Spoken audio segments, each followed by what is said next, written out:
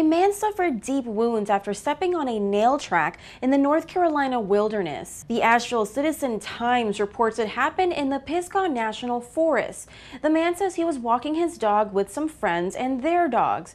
The trap was buried in a rut in the road and covered with leaves. It was made of plywood and two inch nails with the points facing up. The man says the words PETA Payback were written on the trap, possibly referring to the group People for Ethical Treatment of Animals. But PETA denies any involvement and is actually now offering a $1,000 reward for information leading to an arrest and conviction in this case. At the CBS 17 digital desk, I'm digital reporter Judith Retana.